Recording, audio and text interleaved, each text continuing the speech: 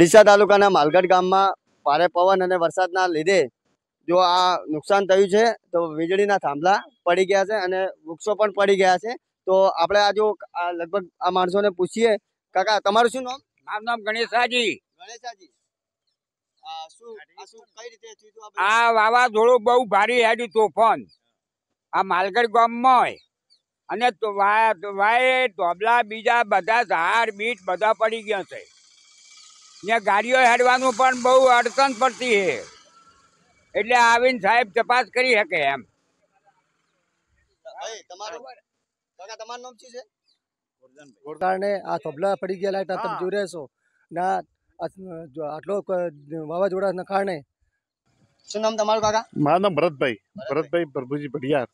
માલઘાટ રાણી. આ રસ્તામાં પાડે પડ્યા તાર વીજળી થાંભલા બાબલા તૂટી ગયા ગાડીવાળા ધારવા તો બહુ તકલીફ પડે છે. ઝાડકો બાળકો પડી ગયા છે. ઝાડકા બહુ વ્યવસ્થિત લેવડાવે તો સરકારને નમ્ર વિનંતી. હા લોકોને પતરા બધા બધા ઉડી ગયા. ઢેકોડી બહુ નુકસાન થયો છે.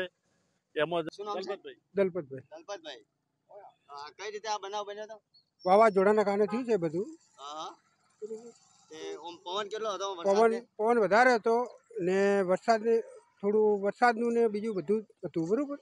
એના કારણે કુદરતી છે પણ જીબીને કહેવામાં આવે કે આ જલ્દી કામ કરે. આ ધોબલા પડી ગયા છે માલકત મોટી ટોણી ઊભા રોડે.